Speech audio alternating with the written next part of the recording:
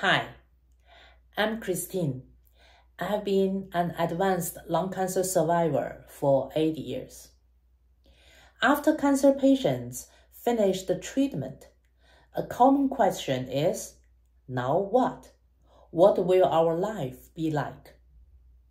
Some cancer survivors rush back to work even if financially they don't have to, or find things to do to keep themselves busy. The idea is to create a sense of normal. We humans long for normal. What is normal?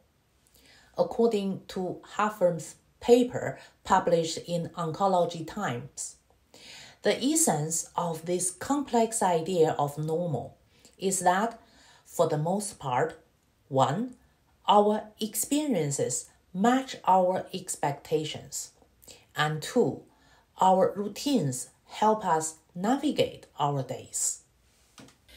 Actually, after treatment, the fatigue, side effects from the treatment, the anxiety of cancer returning make normal extremely difficult.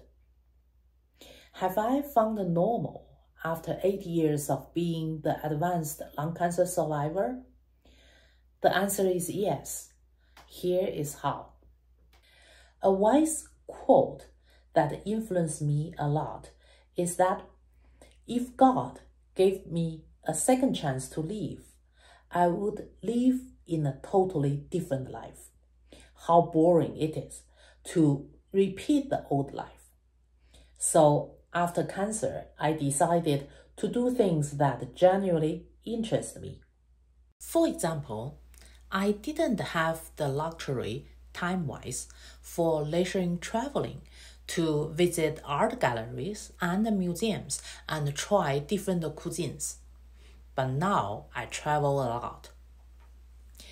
I have never done any advocacy before, but now I advocate for cancer research.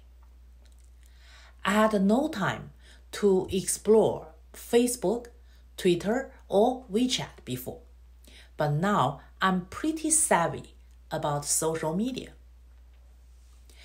I don't have to consider the impact or significance of what I'm doing. As far as it pleases me, I do it. The unique part is if I desire to quit or to continue anything at any time, I do it because I can. This is my new normal. I adjust my expectations and my experience followed up. I found it surreal that I'm happier now than in my pre cancer era. Life after cancer is an art, the art of living well. Today, I will stop here. I'm Christine. Until next time, See you then.